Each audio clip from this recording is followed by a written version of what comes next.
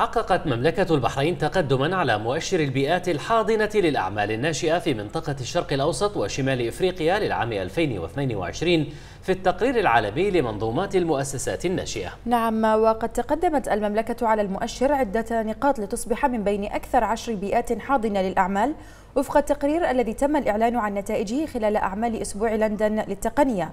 والذي يعد أحد أبرز التقارير شمولا على المستوى العالمي في مجال البحوث المختصة بمنظومات الشركات الناشئة. وبحسب النتائج برز موقع البيئة الحاضنة للأعمال الناشئة في البحرين في عدد من المحاور حيث تم تصنيف مملكة البحرين ضمن أفضل عشر منظومات اقتصادية في منطقة الشرق الأوسط وشمال أفريقيا من حيث توافر التمويل إضافة إلى وجود الكفاءات المحلية. ذات الخبرة كما تم تصنيف المملكة ضمن أفضل 15 نظاما بيئيا وكذلك ضمن أفضل 15 نظاما اقتصاديا في منطقة الشرق الأوسط وشمال أفريقيا.